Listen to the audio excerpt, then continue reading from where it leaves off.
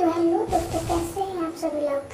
तो आज से स्वागत है एक नए वीडियो में। तो भाई मेरा फ्रेंड है जिसके साथ मैंने जिससे मैंने कन्वर्सेशन किया है। गाइड वो मुझे नूरा बोला था। तो गाइड मैंने उसको बहुत बुरी तरह है तो चलिए गाइड अपने कस्टम को शुरू करते हैं छोटे से इंट्रो के साथ।